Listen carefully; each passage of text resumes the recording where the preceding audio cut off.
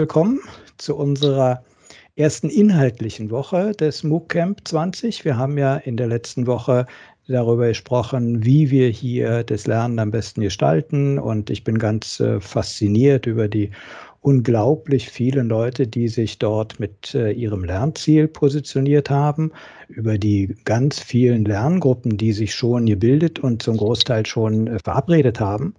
Und ich denke, das geht sicherlich noch weiter in dieser und in der nächsten Woche. Äh, ihr findet alle Links, die ihr dafür braucht, äh, auf unserer Homepage colearn.de. Rechts gibt es so Quicklinks und da kommt ihr auch auf äh, diese Woche hier und natürlich auf die weiteren Links, die ihr braucht, um halt mitzumachen bei uns. Hier in äh, unserem Teams können nur 100 Leute im Chat mitschreiben. Aber dieser Chat ist ohnehin ein Chat, der nach der Sitzung äh, wieder gelöscht wird. Das interessantere äh, Chat-Tool ist unsere Telegram-Gruppe. Und auch den Link dazu findet ihr rechts oben auf unserer Webseite. Also wenn ihr diskutieren wollt, nutzt am liebsten die Telegram-Gruppe. Da kann man dann auch hinterher noch weiter drüber reden. Äh, wenn ihr wollt, könnt ihr aber auch hier den Chat jetzt für aktuelle Fragen nutzen. Ich freue mich, dass wir heute äh, drei Learning-Kolleginnen von ZF äh, hier haben. Die haben sich bereit erklärt, diese Woche mit euch zu gestalten.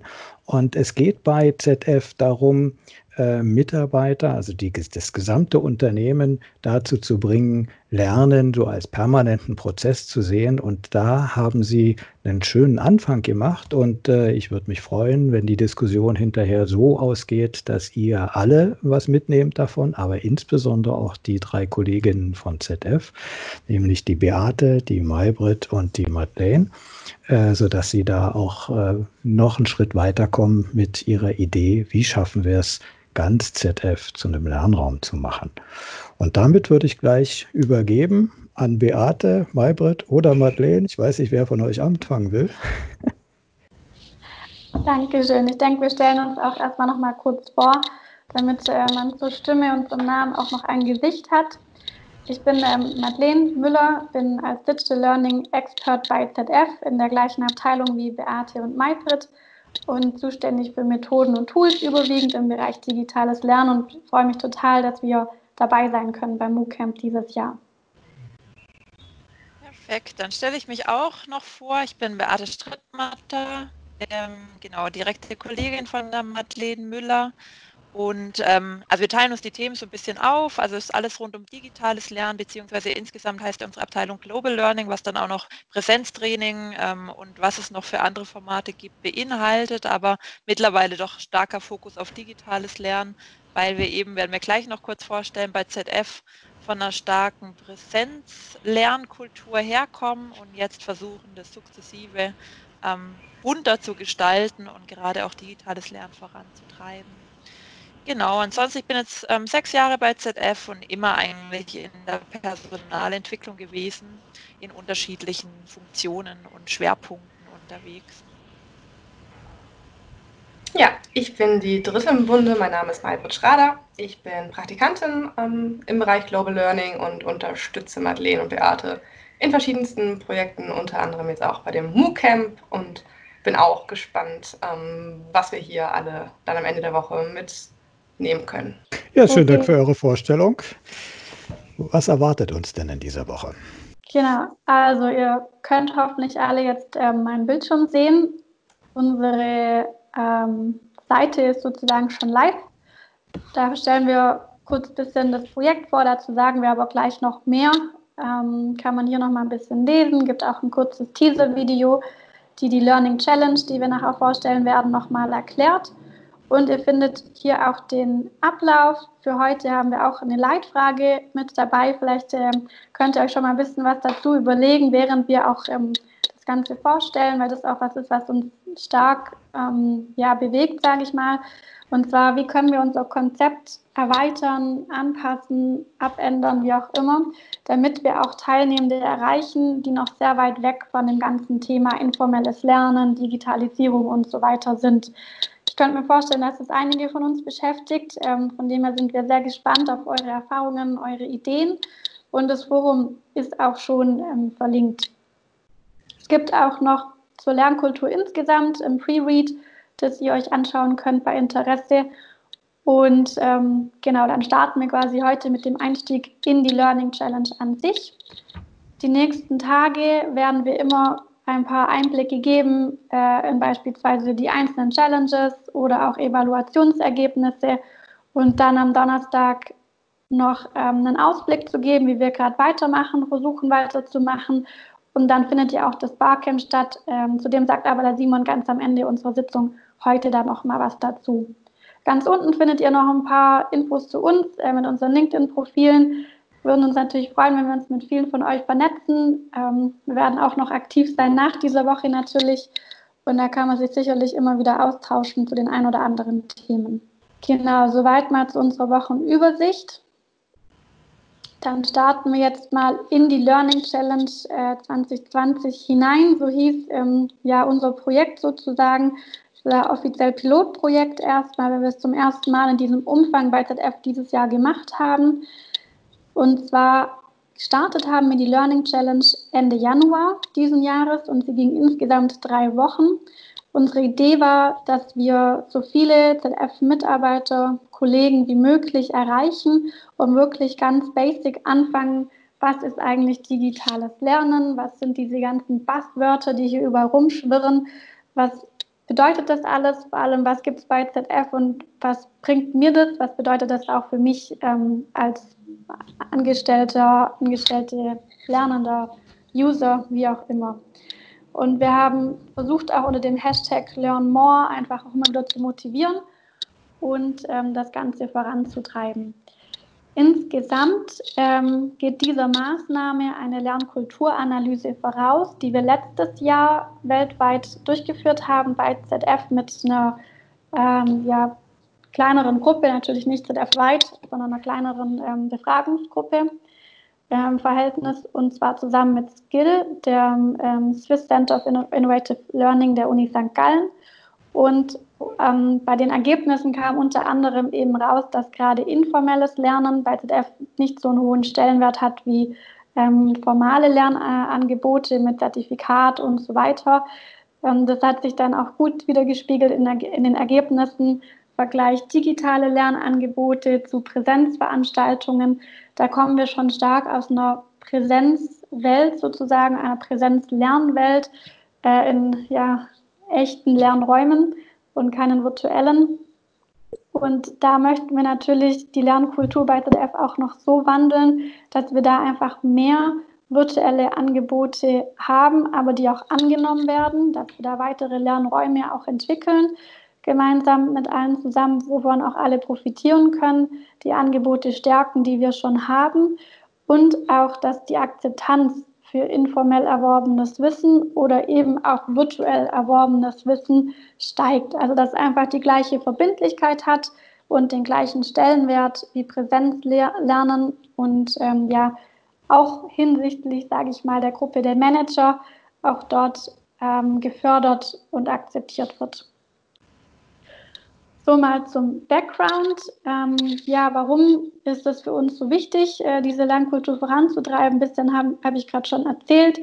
Natürlich treiben uns auch Themen rum wie Agilität, New Work, ähm, innovative Kulturen, dass wir mehr am Team arbeiten und nicht in unseren Silos denken und das ganze Thema Digitalisierung. Ich denke, das sind so ein paar Buzzwörter, ähm, die uns alle stark bewegen und die natürlich auch viel herumschwirren, die teilweise vielleicht schon verbrannte Erde hinterlassen haben, gerade so Begriffe wie Agilität. Und da wollten wir einfach mit der Learning Challenge auch spielerisch in kleinen Einheiten ganz von Null anfangen, damit die Teilnehmenden die Chance haben, da einzusteigen, wo sie gerade stehen und auch verstehen, was es bedeutet und ähm, ja, wie ich mich da auch selbst auf dem Laufenden halten kann. So gesehen äh, steht noch ein bisschen viel drauf. Ich denke, die Kernaussage dieser Folie ist eben, dass wir auch möchten, dass jeder in der Lage ist, selbst sein Lernen zu gestalten, ähm, voranzutreiben, dass wir das gemeinsam natürlich machen wollen, ZF äh, weit und ähm, dass wir dann eben dafür auch solche Initiativen brauchen wie die Learning Challenge, um einfach viele zu erreichen und das ganze Thema auch weit zu streuen. Ich denke, interessanter wird es jetzt mal, wie das Ganze aussah. War es äh, eine intensive Einführung sozusagen.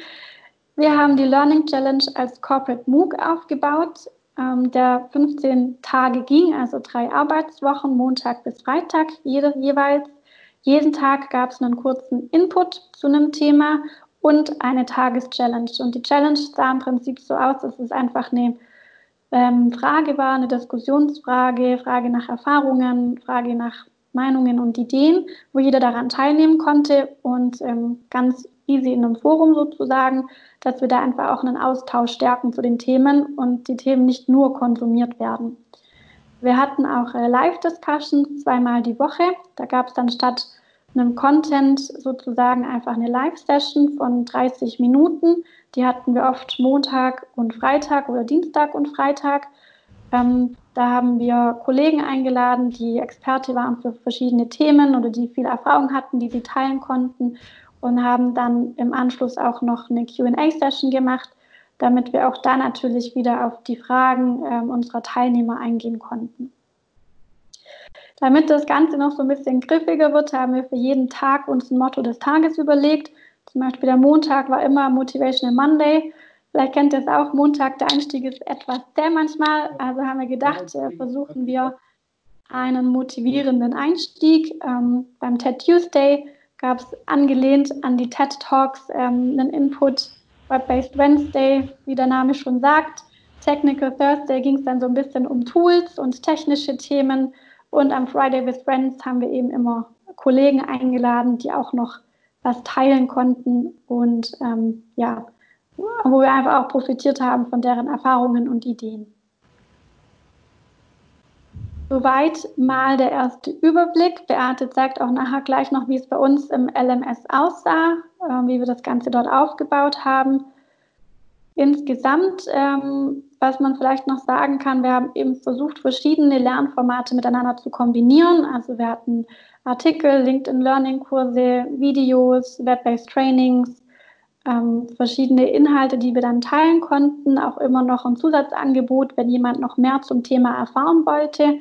Wir haben es aber auch versucht so zu gestalten, dass man an einem Tag mit einem Zeitinvest von, sagen wir mal, 10 bis 15 Minuten gut durchkommt, dass man auch nicht jedes Thema ähm, ja, anschauen muss oder machen muss, um weiterzukommen, sondern man pickt sich wirklich die Themen raus, die einen interessieren und hier seht ihr noch mal eine kurze Übersicht, welche Themen wir denn überhaupt angesprochen haben. Also die erste Woche hat sich rund um digitales Lernen gedreht, Gamification, Storytelling und so weiter.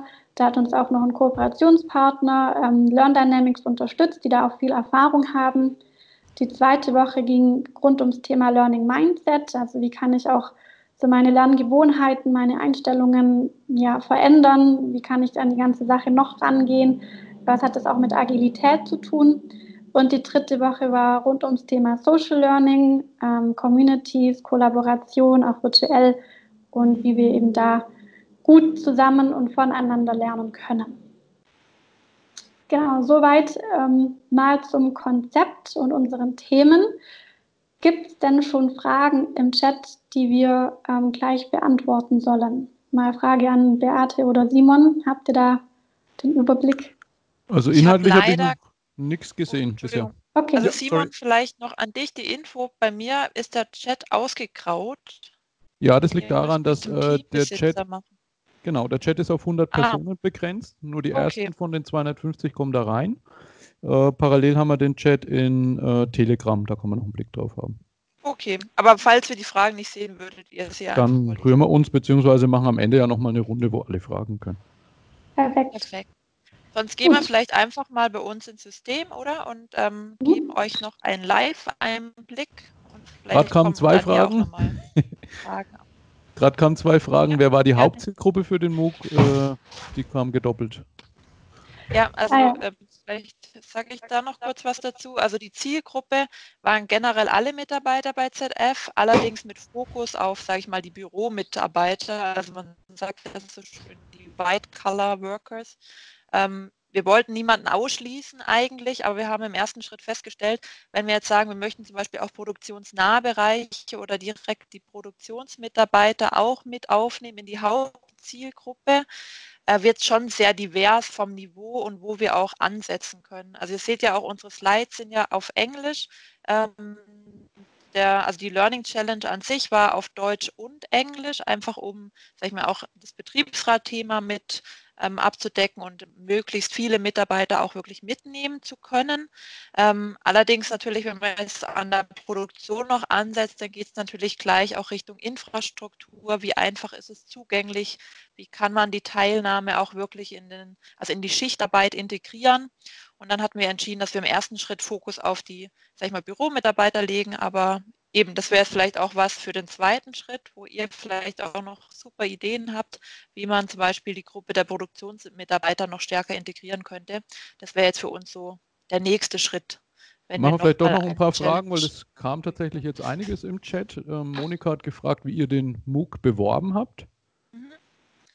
Ähm, ja, ähm, also wir haben es intern ähm, beworben über unsere, sag ich mal, gängigen Kommunikationskanäle. Also wir haben es hier auf der Folie unter Kommunikation aufgeführt.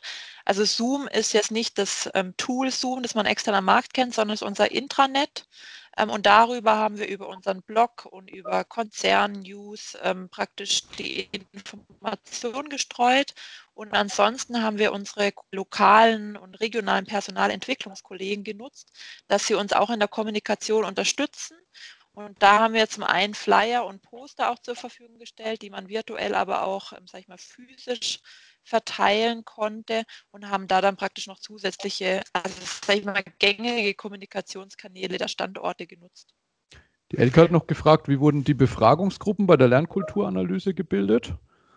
Ihr sagt mir einfach, wenn ihr von der Zeit äh, aufhören müsst, dann höre ich auf, die Fragen zu stellen. So lange würde ich Also die stellen. Lernkulturanalyse wäre jetzt, sage ich mal, echt nochmal ein extra Thema. Ich glaube, wenn wir da einsteigen, ähm, kostet uns das äh, relativ viel Zeit, aber vielleicht Elke, gerne, wir können im Nachgang auch uns nochmal kurz zu dem Thema austauschen. Ich glaube, nur wir driften dann ab. Aber vorher war noch eine interessante Frage, da fragte jemand, wie viele von den Managern waren eigentlich dabei? Eine gute Frage, das ist auch eine sehr interessante Frage, die wir im Laufe der Woche nochmal aufgreifen möchten. Also wir können es nicht genau sagen, wie viele Manager, weil wir nicht, ähm, also rein von den Daten, die wir auswerten dürfen, nicht auf diese Ebene gehen können. Ähm, aber es waren überwiegend Mitarbeiter mit dabei.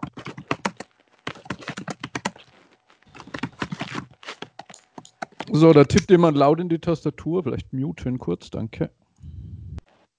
Dann würde ich jetzt mal meinen Bildschirm teilen und euch unsere ähm, Jam-Gruppe vorstellen. Also ähm, Madeleine hat es ja schon kurz gesagt, wir haben es in unserem Learning Management System aufgebaut. Unser Learning Management System ist Success Factors und wir bei ZF haben dort auch SAP Jam mit dazugekauft und auch mit im Einsatz, um eben gerade soziales Lernen bei ZF auch weiter zu unterstützen und einfach, sag ich mal, noch andere Gestaltungsmöglichkeiten zu haben. Genau, und wir sind jetzt also auf der Landingpage von unserer Learning Challenge, so unsere Startseite. Manche Elemente kommen euch sicher schon bekannt vor, also zum Beispiel das Introduction-Video, das haben wir auch mit euch geteilt, damit ihr so einen Eindruck bekommt, wie sahen denn die Medien aus, die wir dort zur Verfügung gestellt haben. Und ähm, die Landingpage war eigentlich dazu da, um sozusagen nochmal einen Überblick zu geben und eben den Mitarbeitern den Einstieg in die Learning Challenge äh, zu erleichtern. Die Seite war auch von Anfang an verfügbar, also auch schon vor der Challenge. Und die Wochen, Themen und Inhalte haben wir dann nach und nach freigeschalten. Genau, was auch noch ein zentrales Element auf der Startseite war, war unser begleitender Blog. Man sieht jetzt hier unten ähm, praktisch die letzten Posts, also End of the Learning Challenge, wo wir nochmal Danke gesagt haben an alle. Das sieht man jetzt eben hier. Und eben, wenn wir nochmal nach oben gehen, hatten wir oben eine Navigation aufgebaut, die dann praktisch kontinuierlich freigeschalten wurde und Woche für Woche erweitert wurde. Genau, und ich, ich springe einfach mal in eine Woche rein. Starten wir vielleicht mit der Woche 1 zum Thema digitales Lernen. Und da haben wir eben immer versucht, eine einheitliche Struktur beizubehalten. Also es gab immer eine Überblicksseite mit einem kurzen Video, das einführt in die Woche. Da wurde einfach kurz zusammengefasst, was sind die Themen der Woche und was möchten wir mit der Woche auch erreichen. Dann hatte man immer einen Überblick auf der rechten Seite, welche Live-Sessions in der Woche stattfinden werden. Und im Nachgang haben wir dann auch immer ähm, die Dokumentation praktisch zur Verfügung gestellt der Live-Sessions. Und dann gab es einen Absprung auf die einzelnen Wochentage der Woche und die wurden dann aber auch nacheinander freigeschaltet. Und wenn ich jetzt zum Beispiel auf den Motivational Monday der ersten Woche gehe, ich eben immer noch mal einen kurzen Text, was passiert an dem Tag. Dann ähm, war eigentlich das zentrale Element die ähm, Challenge des Tages. Und da konnte man dann praktisch immer sehen, was war die Aufgabe und immer den direkten Link zum Forum, ähm, wo ich dann eben die Aufgabe bearbeiten konnte. Könnt ihr mich noch alle hören? Ich sehe nämlich gerade, ja. dass ich eine Fehlermeldung. Ah. Ja, nee, alles gut. Ja. Perfekt. Genau, ich springe einfach mal in das Forum rein, dann sieht man so grob, ähm, wie auch so eine Challenge aufgebaut war. Also es war eigentlich immer eine Frage, wo man seine Meinung oder eben ein Best Practice Beispiel teilen sollte und immer wirklich sehr kurz gefasst. Und wir haben immer nach Abschluss sozusagen der Challenge auch nochmal eine kurze Zusammenfassung oben mit aufgenommen, dass man, wenn man, sag ich mal, später ähm, eingestiegen ist in das Forum, auch so ein Stück weit gesehen hat, okay, was wurde denn diskutiert? Ähm, ich glaube, jetzt baut sich bei mir leider die Seite nicht ganz auf, weil eigentlich würde ich jetzt hier die Kommentare der Teilnehmer ähm, der Challenge sehen. Aber ich kann sonst einfach nochmal ein anderes Beispiel aufmachen. Dann lädt es hoffentlich besser. Genau, und was man immer noch unten hatte, war eigentlich immer noch die Lerninhalte des Tages. Wenn man sich jetzt eine Tagesseite ansieht, ich springe jetzt einfach mal in ein anderes Beispiel rein, dann können wir uns auch noch mal kurz das Forum ansehen. Genau, das war jetzt einfach Woche 2 noch als Beispiel. Hier hatten wir jetzt zum Beispiel keine Live-Session, sondern ein Video-Interview, das wir intern erstellt hatten. Aber dann auch wieder die Challenge des Tages und unten drunter die Lerninhalte, die an dem Tag sozusagen ähm, relevant sind oder eben auch freigeschaltet wurden von uns. Jetzt probiere ich es nochmal mit dem Forum. Zeigt leider, ich weiß nicht, woran es liegt, aber es lädt bei mir jetzt gerade die Kommentare nicht, weil normalerweise würde ich jetzt die ganze Diskussion sehen. Ist ein bisschen schade. Aber ähm, also muss sagen, es war wirklich eine hohe Interaktion Aktivität in den Foren auch. Das hatten Madeleine und ich zu Beginn eigentlich gar nicht so erwartet, weil wir hatten es ja vorher gesagt, das war das erste Mal, dass wir so ein Format in dem Stil bei ZF ausgerollt hatten. Und man muss sagen, also unser Social Intranet ist es schon eine Weile aktiv und die Aktivität steigt auch. Ähm, aber gerade im Lernkontext sind unsere Mitarbeiter noch nicht gewohnt, dass sie wirklich Communities nutzen, um aktiv zu lernen, Inhalte zu teilen und auch gegenseitig ähm, zu kommentieren und sich zu unterstützen. Deswegen war das für uns, sage ich mal, auch so ein erster Versuch, ähm, zu sehen, wie es angenommen wird. Und da waren wir wirklich positiv überrascht, auch generell von der Teilnahme. Also man sieht es hier oben in der Community. Es waren jetzt am Ende über 1000 Mitglieder, die der Learning Challenge gefolgt sind oder beigetreten sind. Und ganz zu Beginn, ähm, als wir, sag ich mal, die Learning Challenge vorbereitet haben, haben wir auch mal überlegt, was wäre denn eine gute Teilnehmerzahl jetzt gerade so zu Beginn. Und wir hatten da so gesagt, ja, hm, wenn so 200, 300 Leute sind, das wäre eigentlich schon ein echt guter Erfolg für uns. Dass es am Ende so viele geworden sind, damit hätten wir nicht gerechnet. Und eben auch internationale Beteiligung, also nicht nur aus Deutschland, und auch das Feedback war durchweg sehr positiv von den Personen, die teilgenommen haben. Es kamen noch ein paar Fragen rein. Ähm, kannst du mal einen Lerninhalt konkret zeigen? Da gab es ein paar Fragen, wie das aussah. Ja, ähm, genau. Ich kann vielleicht einfach mal auf der Seite Beispiele zeigen. Also wir hatten es ja vorher auch gesagt, wir haben LinkedIn Learning bei ZF im Unternehmen und jetzt so ein Beitrag, der verlinkt dann direkt auf ein LinkedIn Learning Video oder Kurs. Man sieht jetzt hier auch, ist bei uns im Learning Management integriert, deswegen dauert es immer so eine, ein paar Sekunden, bis der Inhalt ähm, lädt. Und ich weiß nicht, wer LinkedIn Learning kennt, das sind, sage ich mal, so wirklich so kleine Lernvideos, ähm, oft mit einer Person, die spricht und dann immer, sage ich mal, entweder Folien oder so kleine im Comic-Stil gehaltene ähm, Präsentation, die sozusagen nebenher einen konkreten Lerninhalt erklärt. Jetzt in dem Beispiel geht es um Fehlerkultur und wie man auch aus Fehlern lernt. Und das sieht man es eben hier, dass praktisch dann links das Video läuft und eben man sieht hier, das ist die LinkedIn Learning Oberfläche, wo man dann hinspringt, wenn es ein LinkedIn Learning Kurs wäre. Genau, dann gehe ich nochmal kurz zurück. Ähm, manchmal haben wir auch einfach, ähm, also Artikel zum Beispiel verlinkt, die wir empfehlen. Also hier ist es jetzt wirklich ein Link auf einen Artikel hier jetzt auf dem Blogbeitrag auf LinkedIn. Geht es auch wieder um Fehlerkultur. Ähm, teilweise waren es auch intern erstellte Web-based Trainings zum Beispiel. Oder wir haben auch manchmal kleine Playlists erstellt. Das nennt sich jetzt in SuccessFactor-Sprech äh, Collection. Das ist einfach eine Sammlung von Videos, können aber auch Web-based Trainings sein, die wir zu einem bestimmten Thema ähm, empfehlen. Hier geht es um Bra Embrace a Learning and Failure Culture in your Team. Und hier werden es jetzt drei Kurzsequenzen, die praktisch empfohlen werden. Genau. Dann gab es ähm, noch Fragen, was war unser konkretes Ziel oder auch die strategischen Ziele, die wir mit dem MOOC verfolgt haben? Also ich denke, das Wichtigste hat Madeleine am Anfang schon gesagt, wir wollten wirklich zum einen zeigen, okay, digitales Lernen macht Spaß und soll stärker in unserer Lernkultur verankert werden, auch gerade Richtung informelles Lernen und Lernen von und miteinander. Und was wir auch noch erreichen wollten mit der Learning Challenge, dass wir, also sage ich mal, den Stellenwert von Lernen an sich ähm, stärker hervorheben und den Mitarbeitern eine Unterstützung geben. Wie kann ich Lernen denn im Arbeitsalltag ähm, verankern? Also ihr habt vielleicht noch die Slides von uns in Erinnerung. Am Anfang waren ja viel diese Buzzwords, Digitalisierung, Agilität.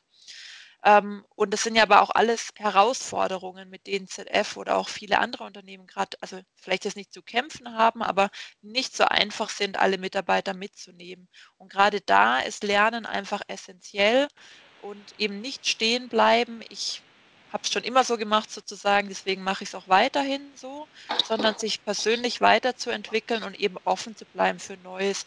Und mit der Learning Challenge wollten wir einen ersten Schritt gehen, wie kann ich Lernen in meinen Arbeitsalltag verankern und wie finde ich denn auch bei ZF überhaupt schnell ähm, Lerninhalte. Weil das haben wir auch in der Lernkulturanalyse festgestellt, dass oftmals nicht das Problem ist, dass es Lernangebot nicht vorhanden ist bei ZF, sondern dass es einfach nicht bekannt ist an allen Standorten. Und das war jetzt uns auch ein wichtiges Anliegen, einfach zu zeigen, hey, bei ZF gibt es ein breites äh, Lernangebot, ist auch sehr divers und auch gerade digitales Lernen haben wir auch kurze Sequenzen im Angebot, die man auch einfach in den Arbeitsalltag integrieren kann. Genau, dann war waren noch ein paar Fragen, wann so der Projektstart war, also wann wir wirklich angefangen haben mit Planung und wie viel Zeit uns das davor und während des MOOCs gekostet hat. So genau kann man es gar nicht sagen, oder? Nee. Also die Idee ist, sage ich mal, früh letztes, also ich sag mal so später Frühling, Anfang Sommer letztes Jahr, glaube ich, entstanden, als wir eben die Lernkulturanalyse ausgewertet haben. Im Sommer haben wir dann schon mal angefangen, so ein grobes Konzept zu machen. Aber so wirklich erstellen, vorbereiten, würde ich sagen, es war dann so im Herbst und im Januar ist ja die Challenge live gegangen. Und ich muss auch sagen, Madeleine und ich, wir sind ja ein kleines Team. Wir hatten ja noch extern also Unterstützung, gerade auch in der Erstellung von ein paar ähm, der Lernvideos, ähm, die wir auch mit euch geteilt haben. Aber das war ja bei uns kein Vollzeitprojekt, sondern es lief nebenher. Deswegen schwierig zu sagen, also wie lange man tatsächlich jetzt brauchen würde in der Vorbereitung. Wir haben auch versucht, ganz viel zu nutzen, was wir eh schon hatten. Also beispielsweise zum Thema Storytelling hatten wir schon Web-based Training zum Thema, das wir mal ähm, entwickelt haben bei ZF oder auch ganz viele ja, Experteninformationen, die es einfach schon gibt, haben wir hier jetzt mal nochmal gebündelt sozusagen. Und das war auch unser Ziel. Nicht alles einfach neu machen, sondern viel von dem nutzen, was wir schon haben. Deswegen war auch während der drei Wochen war ja auch noch eine Frage, jetzt lief wirklich nebenher. die Community zu betreuen. Wir wollten auch nicht zu viel reingehen in die Diskussionen, damit die Teilnehmer auch wirklich aktiv werden. Und ähm, das waren die dann auch echt ganz gut. Eine Frage war nämlich auch noch ähm, nach unserem Auftraggeber oder Sponsor. Da würde ich behaupten, das hatten wir in dem Sinn eigentlich auch nicht. Nee, also gerade zu Beginn nicht. Was wir dann irgendwann, sag ich mal, on the fly geschafft haben, ist unsere ähm, HR-Vorständin zu überzeugen, dass es ähm, ein wichtiges Thema ist und auch ein gutes Konzept ist. Und wir haben dann praktisch im Nachgang auch von ihr ein Statement für die Kommunikation bekommen. Allerdings war das wirklich so währenddessen, sage ich mal eher. Also es war nicht, dass wir von Anfang an irgendwie einen Management-Sponsor hatten. Genau. Hier kommen noch so ein paar Fragen, so äh, immer wieder, durften alle Mitarbeiter da mitmachen? Hatten die einen freien Zugang oder mussten die sich irgendwie das genehmigen lassen? Und eine zweite Frage kommt schon ab und zu, äh, haben die Zeit fürs Lernen bekommen? Äh, was könnt ihr dazu sagen? Also generell ist bei ZF Lernzeit gleich Arbeitszeit, also in einem normalen Umfang sozusagen, außer das sind jetzt irgendwie Sonderprogramme. Ähm, das heißt, jeder Mitarbeiter darf an sich teilnehmen ähm, und auch wirklich mitlernen. Es war auch nicht zugangsbeschränkt, also es gab nicht irgendwie eine Freigabe, die durch den Vorgesetzten erteilt werden muss. Allerdings ist natürlich klar, es darf nicht dadurch, dass jemand im, in der Learning Challenge teilnimmt, passieren, dass, sage ich mal, seine originären Aufgaben, also sei es jetzt irgendwie Kundenanfragen nicht bearbeitet werden oder wichtige Themen liegen bleiben. Das darf nicht passieren. Aber generell gab, musste keine Freigabe vom Vorgesetzten gegeben werden. Genau. Ähm, dann war noch eine Frage, ob unser LMS mit der Learning Challenge erst eingeführt wurde. Ja und nein.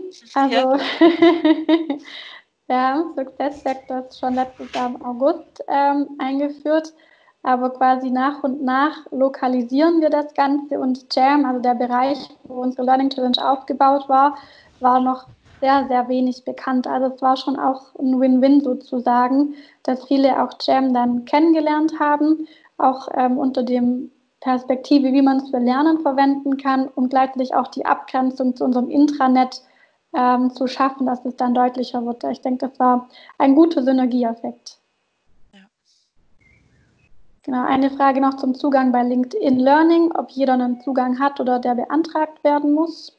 Ja, also wir haben einen Unternehmensaccount, das heißt, ähm, es wird schon eine Zahl im Hintergrund berechnet, aber generell hat jeder Mitarbeiter bei ZF die Möglichkeit, auf LinkedIn Learning zuzugreifen, allerdings nur über unser Learning Management System, also verknüpft und per Single Sign-On werde ich dann auf LinkedIn Learning weitergeleitet. Genau. Ähm, dann gab es noch eine Frage, ob es länderspezifische Unterschiede in der Lernkultur bei ZF gab. Ja, vielleicht was Spannendes oder ich weiß nicht, spannend. Also war wirklich spannend, ähm, für uns auch so ein bisschen echt überraschend. Also wir haben die Lernkulturanalyse international durchgeführt und haben es dann nach Regionen ausgewertet.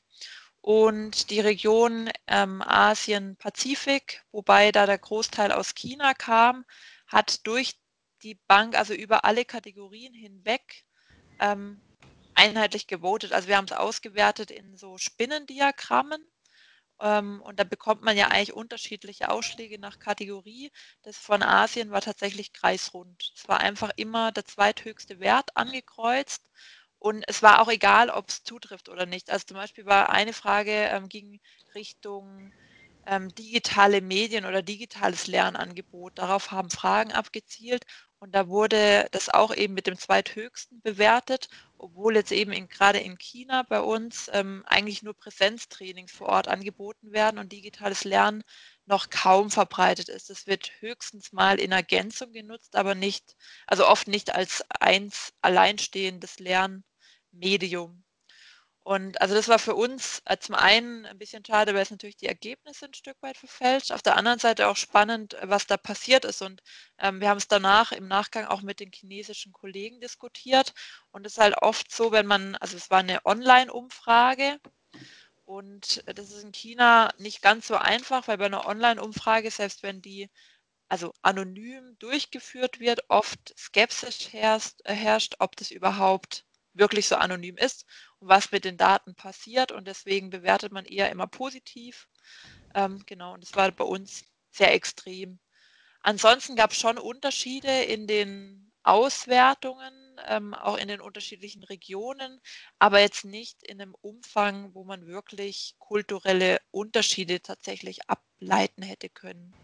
Na, dann kommt hier noch eine Frage zur ähm, Gamification an, sorry, Ansätzen während der Learning Challenge. Da können wir vielleicht von unserem Punktesystem noch erzählen. Ja. Ähm, magst du kurz erzählen? Vielleicht finde ich noch ein mhm. Bild so lange von unseren Champions, dann sieht man es vielleicht auch noch gut. Genau, also wir haben ähm, die Idee gehabt, dass wir pro Woche drei Learning Champions haben. Äh, Platz 1, Platz 2, Platz 3. Und Champion konnte man werden, wenn man äh, die meisten Likes auf einen Post bekommen hat. Also es war dann egal, ob man nur einen Post geschrieben hat oder zehn in der Woche. Aber der Post, der ähm, von den meisten Teilnehmenden geliked wurde oder die meisten Likes hatte, äh, wurde dann Champion. Und wir haben eben am Ende der Woche unsere Champions immer gefragt, ob es für sie okay ist, dass wir den Namen kommunizieren, ob sie uns auch ein Bild zur Verfügung stellen. Und dann haben wir immer wie so eine Art äh, Treppchen gehabt, wo wir die Bilder reingepackt haben und die Namen und am Ende der Woche nochmal äh, gratuliert haben ähm, zum Learning Challenge Champion der Woche. Ähm, das kam auch sehr gut an. Das hat auch motiviert, dass die Leute wirklich angefangen haben zu liken, aktiv zu werden, zu teilen, sich auch gegenseitig ähm, zu unterstützen und zu supporten sozusagen. Und die haben von uns dann auch nach der Learning Challenge noch ähm, eine Kleinigkeit bekommen. Ähm, ein paar coole Sticker mit äh, ein paar Slogans und die ähm, Platz 1 Nominierten sozusagen noch eine Learning Challenge Champion Tasse. also typische ähm, Dinge, die man so im Unternehmen immer brauchen kann, sozusagen, wo wir einfach versucht haben, das auch ein bisschen wertzuschätzen. Ja, leider ist mein Internet oder ich weiß nicht, ich glaube, das liegt an dem VPN. Bin ich leider zu langsam, um das jetzt zeigen zu können. Aber vielleicht können wir nochmal in der Gruppe im Nachgang Beispiel teilen, wo man es dann nochmal besser sieht. Genau. Ähm, genau, dann haben wir hier noch eine Frage, wie wir es mit dem Betriebsrat gemacht haben, ähm, gerade mit den Likes und Wettbewerb und Leistungskontrolle. Genau, das hatten wir auf jeden Fall vorab besprochen. Ähm, allerdings dadurch, dass wir es als Pilot laufen lassen haben, war es relativ, sag ich mal, einfach zu handhaben. Also ähm, was wir eben gemacht haben, ist es auf Deutsch und Englisch weitestgehend zur Verfügung zu stellen, obwohl man sagen muss, dass eigentlich gerade in den Foren hauptsächlich Englisch gesprochen wurde und ansonsten, es war wirklich eine freiwillige Teilnahme. Es wurde nichts auf Namensebene sozusagen getrackt, beziehungsweise was man natürlich sehen konnte, ist, wenn jemand im Forum einen Beitrag teilt, also an der Challenge teilnimmt, dann wird sein Name, also ist sichtbar. Ähm, allerdings war das ja auch freiwillig und der Mitarbeiter hat selbst entschieden, ob er an den Challenges teilnimmt. Ansonsten zum Beispiel die Führungskraft, die hat keine Auswertungen ähm, oder solche Dinge bekommen.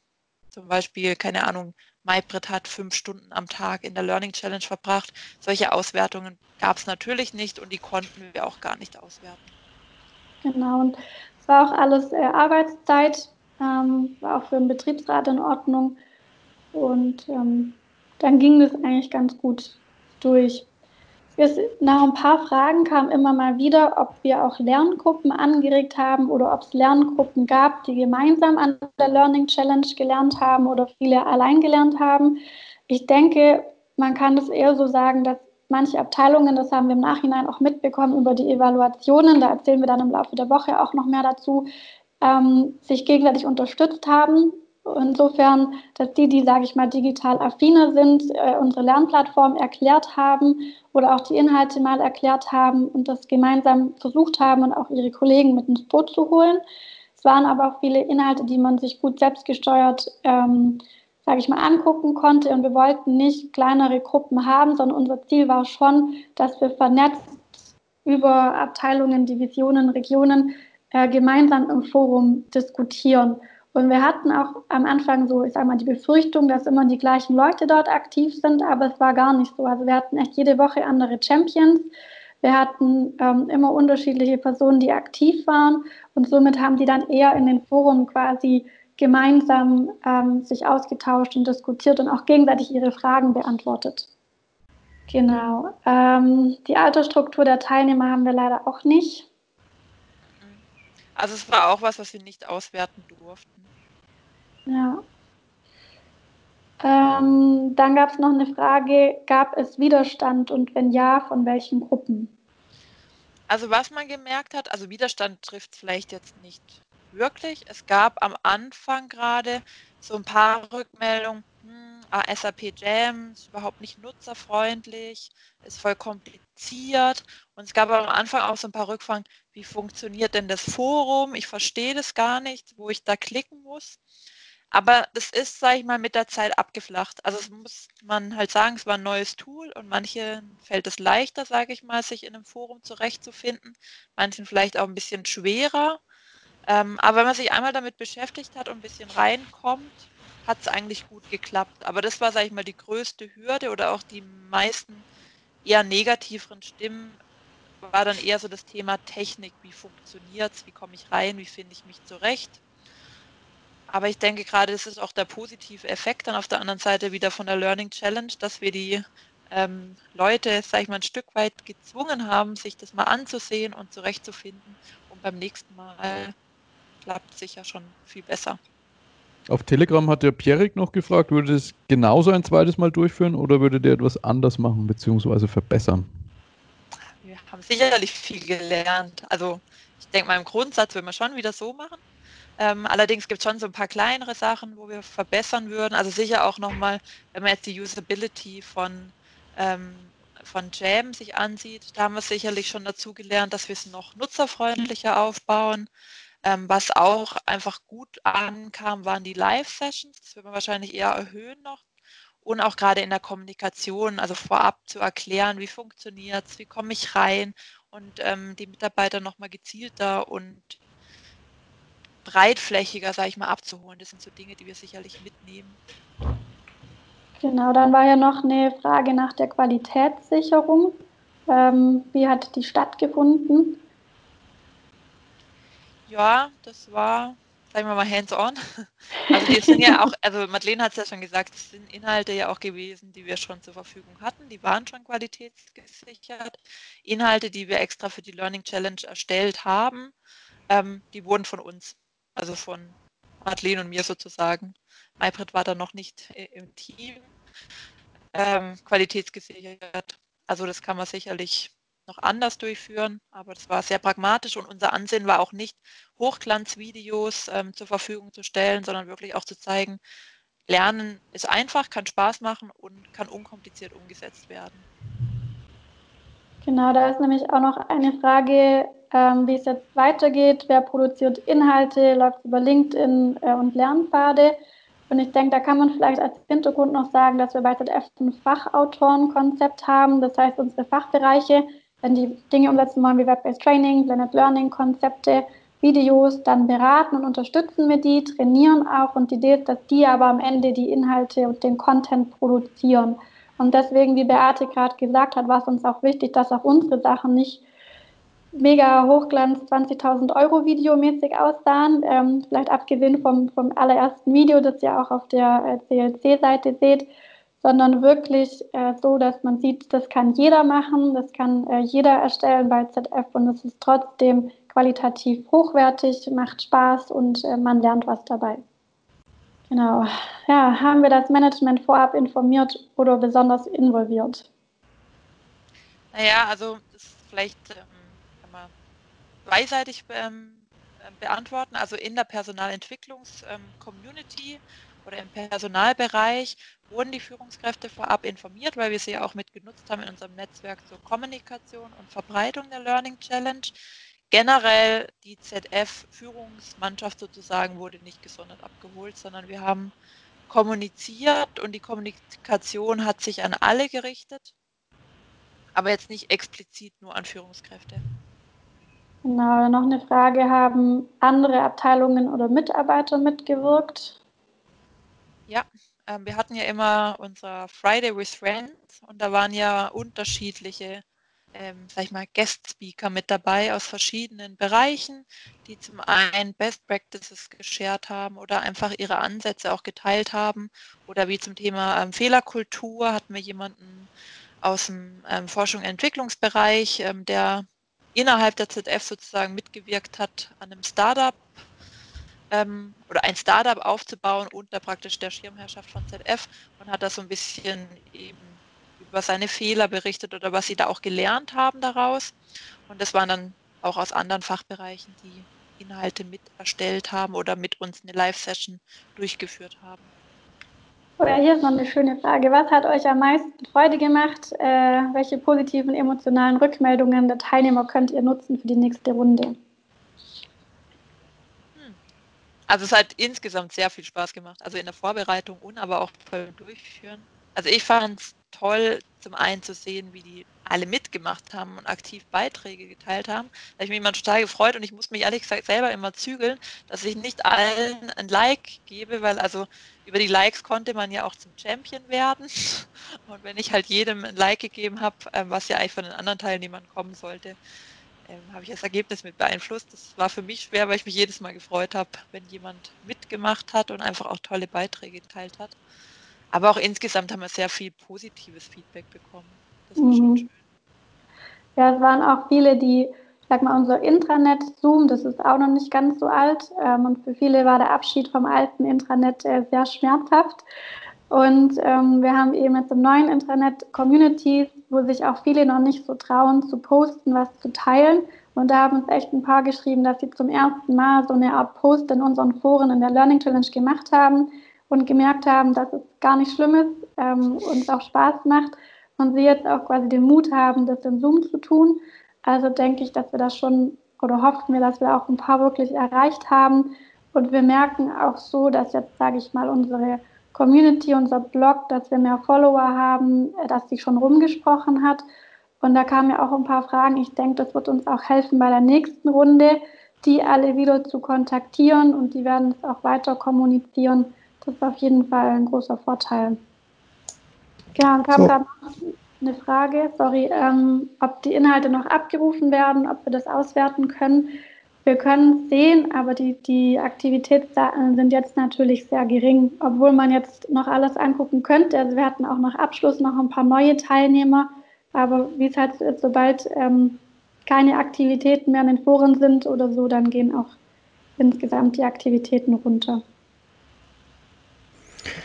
So, ich habe hier in der Zwischenzeit ganz viel positive Rückmeldung für euch gelesen. So zum Beispiel bin sehr beeindruckt von eurer Learning Challenge, äh, habe äh, Lust, es selber zu machen, kam schon mehrmals so. Also Hochachtung. Vielleicht sind wir an der Stelle auch schon so kurz vorm Ende.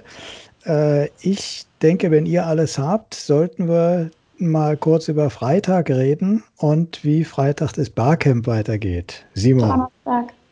Donnerstag, diese Donnerstag. Woche haben wir den ja. Feiertag. Genau. genau, danke. ja, wegen des ähm. Feiertags Freitags machen wir diesmal am Donnerstag ja äh, schon den letzten Tag. Ja. Genau, ich würde mal meinen Bildschirm teilen. Ich hoffe, ihr seht es. Ja.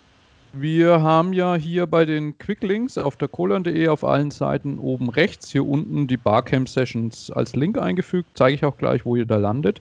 Die Idee ist, dass wir in jeder Woche nach der Live-Session, also entweder Freitag dann von 14 bis 15 Uhr oder eben diese Woche Donnerstag von 14 bis 15 Uhr, euch die Möglichkeit bieten, also euch im Sinne von allen Teilnehmerinnen, äh, eigene Sessions zu machen äh, und die einfach einzubringen, wie, wie wir das im CL2.0 digital gemacht haben. Es gibt ja so zwei große Binsenweisheiten beim Internet. Äh, das eine ist, im Internet weiß keiner, dass du ein Hund bist. Und das zweite ist, im Internet ist immer genug Platz. Also das heißt, alle Themen, die in der Woche nicht stattgefunden haben, die passen alle in unseren Sessionplan. Dafür haben wir einfach ein Etherpad angelegt. Das mache ich jetzt hier mal auf. Das, wie gesagt, dass das verlinkt ist, ein Zoom-Pad. Da ist so ein bisschen Einleitungstext drauf. Und dann findet ihr jeweils eine Überschrift pro Woche. Also diese Woche, wie gesagt, 30.04., 14 Uhr bis 14.45 Uhr. Äh, dann die Woche drauf der Freitag, die Woche drauf wieder der Freitag, die Woche drauf wieder der Freitag. Also in jeder Woche können Barcamp-Sessions nach der Live-Session stattfinden. Uh, oben ist es beschrieben. Das funktioniert einfach so, dass ihr euch hier, wo drei Punkte im Moment stehen, eintragt.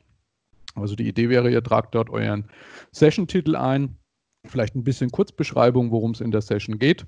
Dann die Möglichkeit, wie man da beitreten kann, also ein Videokonferenzlink zum Beispiel oder ein Link zu einem Chatraum äh, oder was auch immer ihr verwenden wollt und idealerweise auch so ein Ansprechpartner, also an wen kann ich mich wenden, wenn ich noch Fragen habe. Wenn ihr eine Teilnehmerbegrenzung äh, machen wollt, könnt ihr auch eine Xing-Events oder Eventbrite-Seite davor schalten, damit Leute sich anmelden. Na, auch bei den Videokonferenzen würde ich äh, noch darauf hinweisen, ein bisschen aufpassen, nicht einfach öffentlich zugängliche äh, Zoom-Videokonferenz-Links oder so in dieses Pad reinposten, weil dann kann es sein, dass ihr da ungebetene Gäste in eurer Session habt. Also das heißt im Prinzip, ihr könnt jetzt schon anfangen, da Sessions anzubieten. Da ist auch nach unten äh, keine Grenze gesetzt. Also es können am Donnerstag jetzt die zwei Sessions stattfinden, die hier schon stehen. Ihr könnt da gerne aber auch noch zehn weitere dazufügen.